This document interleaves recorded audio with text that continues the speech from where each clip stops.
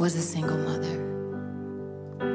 She was abandoned by the family she belonged to. And there in the wilderness with her son, alone with very little provision, she was wondering. She was questioning Does anyone care? She's crying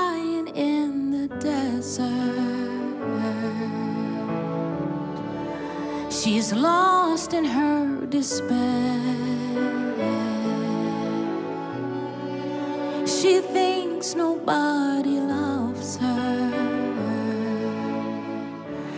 Hey, God thinks nobody's there. But God says,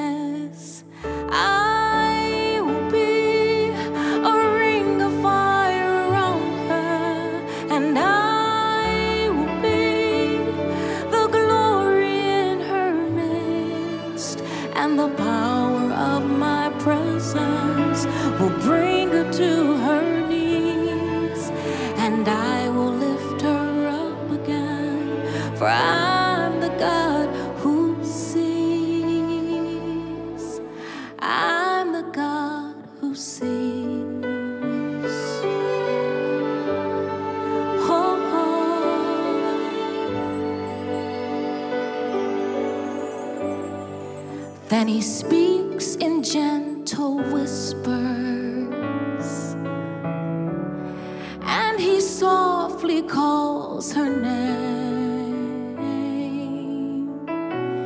She feels his arms enfold her as he holds her, and she'll never be the same.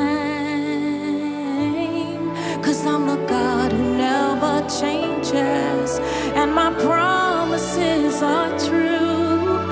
And when this world deserts you, this is what I'll do.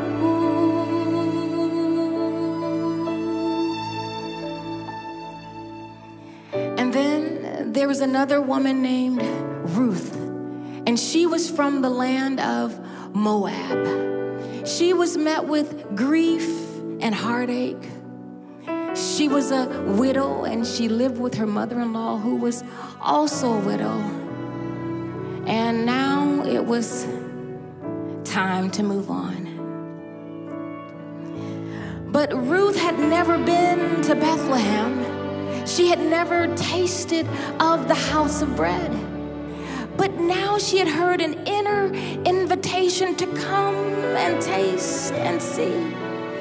And so she vowed herself to her mother in law and said, Where you go, I will go. Where you lie, I will lie. Where you die, I will die.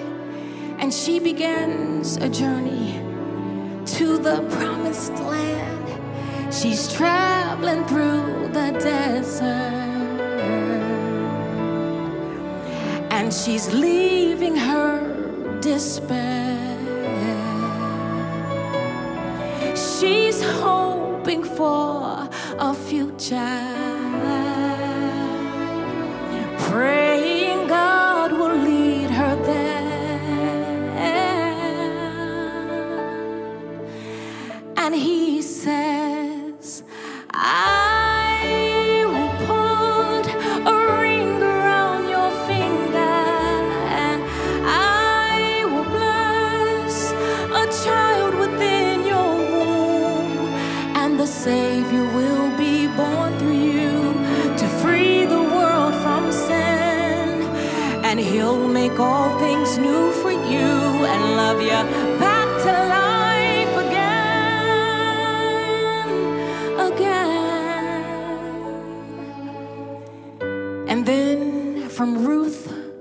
gave birth to a son, Obed, who gave birth to a son, Jesse, who gave birth to a son named David. Now, this same once shepherd boy, mighty warrior, anointed king, is alone, terrified in the darkness. He's hiding in the desert. He's battling despair. David thinks his life is over, it's over. And God, he doesn't care. But God says,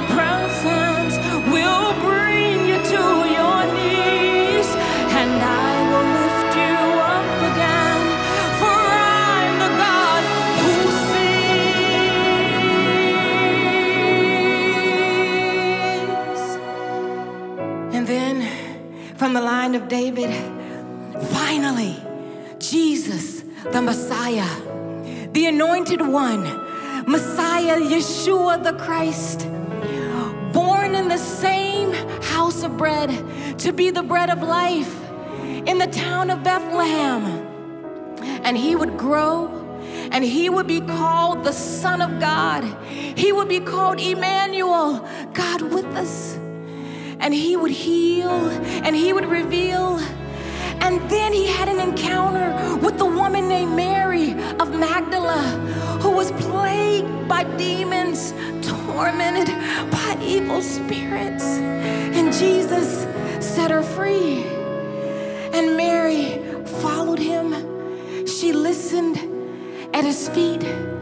She served him and she loved him. Oh, how she loved him. But then she watched as they nailed him to the cross. And as they placed his body in the tomb, in that moment, her hope died. It died. She's crying in the garden.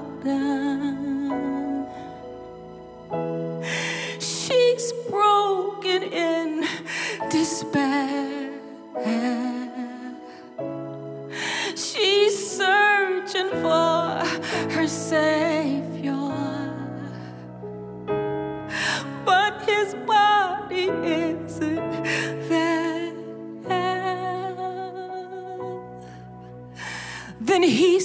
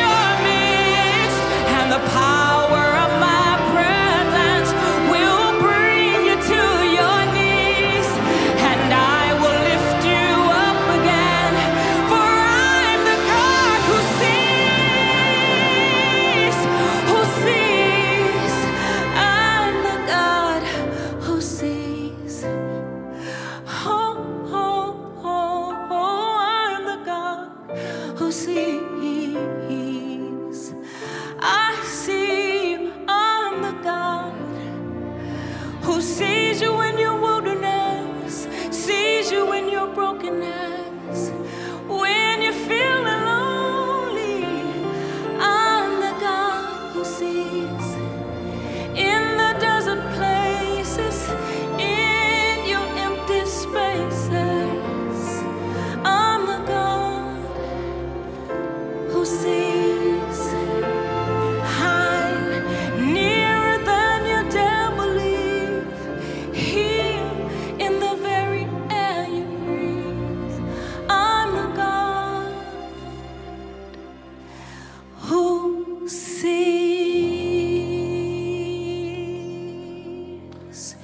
You.